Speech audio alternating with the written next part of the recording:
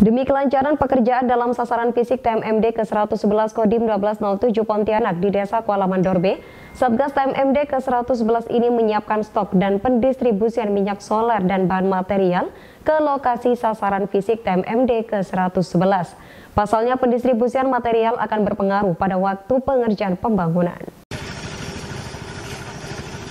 Pendistribusian minyak solar dan bahan material dalam program Tentara Manunggal Membangun Desa yang dilaksanakan di Desa Kuala Mandorbe terus dilakukan.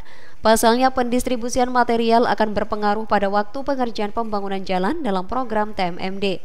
Serda Suryandi Baminlok TMMD Koramil 120706 Sui Ambawang menjelaskan bahwa kesulitan pendistribusian seperti minyak solar harus mengambil dari Pontianak di SPBU 28 Oktober termasuk juga bahan material seperti paku membelinya di toko bangunan di wilayah Pontianak.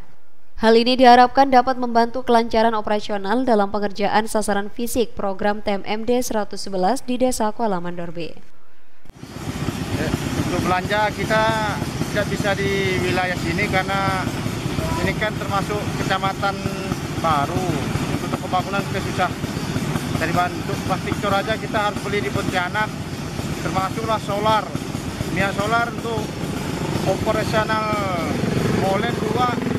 Kita harus ngambil juga di wilayah Pontianak di SPBU uh, 28 Oktober. Termasuk belanja paku, mur untuk kerusakan arko kita tidak bisa ngambil masuk dari kecamatan wilayah Komandordi karena toko bangunan agak susah, sulit. Jadi kita harus kota membelinya dengan kondisi jalan kecamatan ini kan wilayah TMD berlumpur. Terus sekarang mudah-mudahan ke depannya lebih baik lagi. Terima kasih. Tim liputan melaporkan